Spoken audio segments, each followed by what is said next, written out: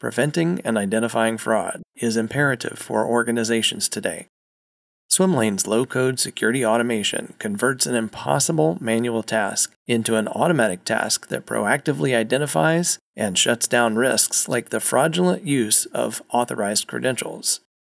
In this use case example, the Recorded Future Identity module provides information on identities that have been compromised. The process starts with the recorded future task called Get Identities Search Domains. The inputs are used to specify things like the desired domain or domains to target the results. For this example, the task is set to only return results for the domain recordedfuture.com. Swimlane will execute that task on a schedule which, for this example, is once per day. Any results found and returned will create a new record in Swimlane and add the identity compromised to the identity field in the record. When any new record exists with an identity, Swimlane will run the recorded future task Get Identities, Look Up Subjects. This task uses the identity to execute another query and return all the data recorded future has for the identity.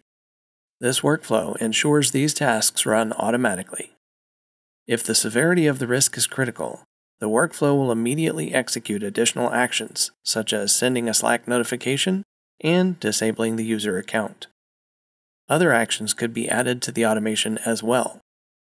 The dashboard for this fraud prevention application provides a real time overview of what has transpired so far and can be used to quickly access the underlying data. The risk of fraud due to these compromised credentials is low. Looking more closely, the reason the risk is low is that this identity does not match a current user of the system.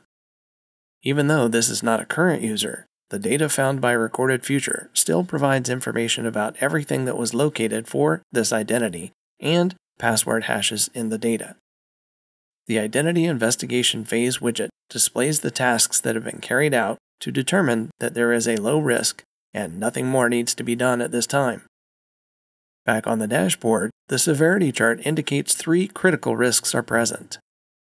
The Critical Credential Report below the chart provides a list of the records and another method for accessing them. In addition to verifying the identity matches the domain, Swimlane has confirmed that this is also a current user with valid credentials, making additional action imperative to prevent fraud. The Swimlane workflow automatically handled this by sending out a Slack notification and immediately disabling the user account. Data returned to this application can also be used to further address potential fraud issues in the environment. The critical identity record can create an event in this alert and incident management application so that the critical risk information can now be combined into a full case management record where existing tasks that have already been performed are recorded and additional tasks like a SIEM search can be initiated. Additional tasks can be automated or run manually, like this, to investigate any use of the credentials and identify any possible fraud that may have already been attempted or taken place. Swimlane's low code security automation is an excellent way to combat potential fraud by investigating credentials that have been compromised, acting to stop any additional fraud, and investigating any fraudulent use of those credentials. For more great use case examples, check out the resources at swimlane.com.